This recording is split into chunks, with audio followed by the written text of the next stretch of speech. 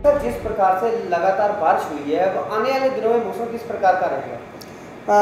आने वाले कुछ दिनों में मौसम की नॉर्मल मानसून ऑलरेडी सक्रिय है इंडिया में, पंजाब, हरियाणा और चंडीगढ़ में भी। तो मानसून की जो नॉर्मल जो बारिश है नॉर्मल टू मॉडरेट जो बारिश है, वो आपको पूरे पंजाब, हरियाणा और चंडीगढ़ में होती रहेगी अगले पाँच से सात दिनों तक। और सपोज़ करिए कि और कोई एक्सट्रीम एक्टिविटी होती है तो हम लोग कॉन्स्टेंटली वेदर वॉच में लगे हुए हैं। हम तुरंत वेबसाइट के थ्रू सबको हम लोग इन्फॉर्म कर देंगे। मानसून चल रहा है मानसून कब तक रहेगा देखिए मानसून का तो सीज़न वेल डिफाइंड है इंडिया में। जून जुलाई अगस्त सितंबर इसकी जो एंट्री होती है यूजुअली थर्टी फ़र्स्ट में या फिर एक जून को इसकी एंट्री हो जाती है एक जून में। और ये तीस सितंबर को आपको पूरे इंडिया से विदा हो जाता है।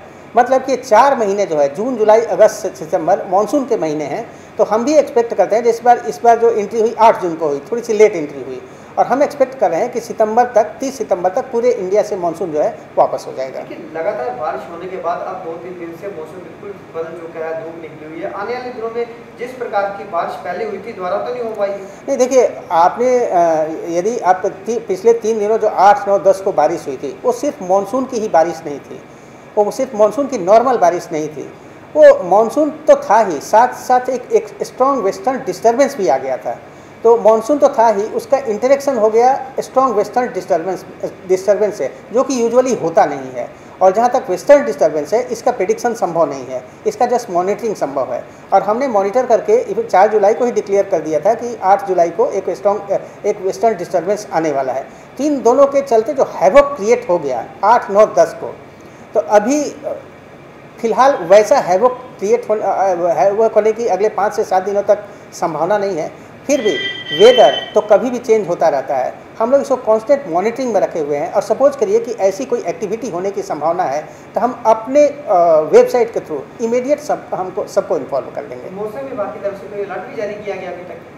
जहाँ तक पंजाब, हरियाणा और चंडीगढ़ की बात है, यहाँ पर एज सच अभी कोई हेवी रेन का वार्निंग वार्निंग नहीं दिया गया है। हाँ इतना ज़रूर बोला गया है कि यहाँ पर थंडर और लाइटिंग आज और कल पंजाब, हरियाणा और चंडीगढ़ में हो सकता है। एज सच हेवी रेनफॉल का कोई वार्निंग नहीं दिया गया है।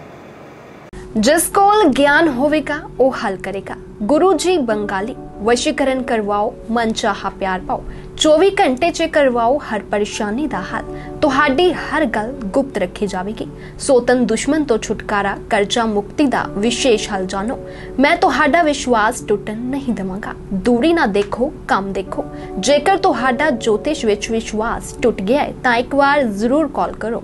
Call now plus nine one, nine eight seven eight, four two nine four three zero.